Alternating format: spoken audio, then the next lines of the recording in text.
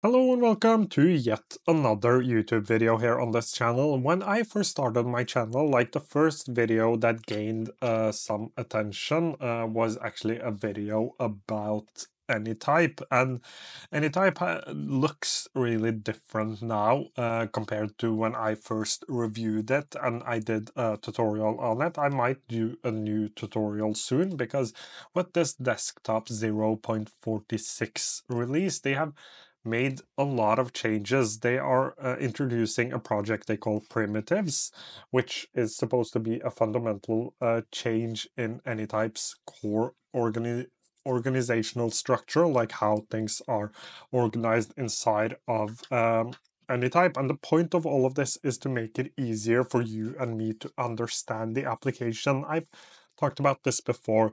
Uh, Object-based note-taking is really complicated Anytype is probably the most complicated of the object-based note-taking apps, but let's go over some of the updates here. Um, so what I will do is that I will go through this, uh, which shows a lot of the updates, and I will also go over some of the things I see in the user interface here. So relations are now called properties. I've always called relation properties. Uh, in all of my videos, that has been a mistake that I've made. Uh, every time I talk about relations, I say uh, properties. Now they are finally properties. I've tried to explain like why they are called uh, relations, and I think that made a little bit of sense, but um, it doesn't. Uh, like it did, but then it didn't. It was really complicated. Just calling it properties makes it so much easier because that's basically what they are. They are properties inside of databases, and um, I've had the same thing for sets. So sets are now called queries, as you can see right here. Sets have always been search queries of specific types. So uh, let's say you had a type called uh, social media idea. You could uh, do a backslash set and create a type uh, or create a set based on the type social media ideas, which would search for everything uh, called social media ideas. Uh, and then you would end up like getting a database uh, of that specific type. Basically, uh, if you compare it to super tags in Tana, that's basically what super tags does. When you search for something using uh, Tana and super tags, uh, they are basically just uh, search queries. I've always explained sets when I've tried to explain like what's the difference between a set and a collection. Set is a search query. So now they are finally uh, calling it query. Uh, and the same goes for relations are now called properties. I will come back to the changes to types, which is now the primary structure of objects, determining all attached properties. Uh, the same goes for templates, layouts, properties. I will come back to them either. Uh, I will come back to them later, uh, and I will probably do a more in-depth video on all of this later. Um, but uh, queries for types, each type page now comes with a built-in inline query, making it easier to access and organize related objects. That is great. Uh, templates for queries and collections. You can now save and reuse your configurations, including view settings. That is also a really cool idea, being able to create a template database which you can reuse. And that is uh, something I also like. Uh, right sidebar and setup menu, the properties icon uh, lets you. We will go through some of these as well so I can see how things have changed. Uh, but uh, let's quickly just go over the things I see right here. So now I have this. That is basically what they mean by the property. So I can click here and I can see the links. I think these also used to be, if I go and open this up, this is basically how this is set up, how the graph looks. Um, so you have links now, you have backlinks, you have tags, so I can tag everything, and you have the object type, which is a page. Uh, if I click on all objects, let's do a tweet here. Uh, if I click this, so here I have the author, I have um, so these uh, properties exist only in this object and aren't part of the type. That's basically what they've done. So what they've done is that they have uh, you can have um, you can have your properties for the type. So I could add properties for tweet, so every tweet would get the same one. And I can also create local ones um, that only exist in this specific uh, instance of that type. So we have to uh, differentiate between objects and types. Tweet is the type, this is the object. Uh, like the thing here is the object. You have to differentiate between those two, which can be a little difficult to understand. But basically, type it is the object type, and you have the object itself. I think that is the best way of putting it. This is the object itself, how you should start your workday. That is the object, uh, and it's an object type tweet. So you have to differentiate between those two. But you could add properties to the object type, and you can add what they call local here.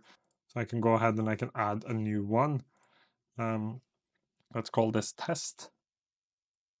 Uh, and I should have uh, the property test somewhere. Let's do test create property test, save. Property test has been created, but where does it go? I'm not sure what why that doesn't work, but I can also here press edit type, which allows me to edit a few things. So uh, this is the properties panel. I can actually drag things into the properties panel. Here we have the test one as well. Uh, let's go ahead and just delete this. So it takes a second to understand it. You have to right click, then move to bin. Um, and I can drag things just into here. Let's do save. And this should probably change how this looks, and it does. So it changes things up here. Uh, if my guess is that if you start a new Anytype, like if you're new to Anytype, you won't have, it won't be looking like this, it will make more uh, sense. Um, so uh, as I said, these properties exist only in this object and aren't uh, part of its type. Add to the type to use in all objects or remove. Basically, these aren't a part of the type. I explained that. Uh, so let's go ahead and close this. I just wanted to see the layout because we could previously change like layouts uh, and now we can do that in editing the type. Uh, I think they've um, they've made it a little simpler to change things up. Like it feels a little bit more intuitive. Of course, I will need to like play around with the application a little bit more because I'm used to the old way of uh, the old way of doing things. Like here again, uh, I only have local uh, properties. Uh, I will need to add my properties like this. Uh, but I think the application feels a little uh, bit more intuitive. Uh, again, I um I haven't used Anytype for a while now, so I'm not used to things looking like this. That's why the difference between like having things local and properties didn't make sense to me. and uh, and uh, in general, I, as you can see in the video, I struggled a little bit uh, because I'm used to the old Anytype, but honestly, I think this looks and feels a lot better. One more thing I wanted to check out was uh, if I try to create, if I do backslash uh, query, what happens if I do backslash set? So it gives me the two options, but let's do backslash uh, query that creates a database. I can select the query based on the object type. Let's do apps. Uh, I could also select tags. I won't do that. Uh, and I could add my properties from right here. Uh, that is actually not the property. this is the property. So here you can see the different properties.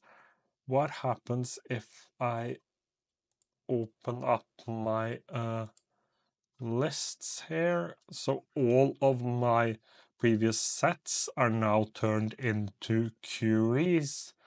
Um, that is great. Uh, so in general, I think like Anytype is a little bit better than it previously was or more intuitive, which is super important for an application like Anytype. I will come back in a week or two and do an in-depth tutorial again on Anytype where I try to explain the things I talked about a little better. I just wanted to do like a first impression on the changes and what I think about them. Uh, so uh, if you have any questions, anything you want me to include in the upcoming video, anything that doesn't make sense, please do comment it down below and I promise I will uh, try my best to include it in the video. As usual, uh, thank you so, so much for watching today's video uh, and I hope to see you again quite soon.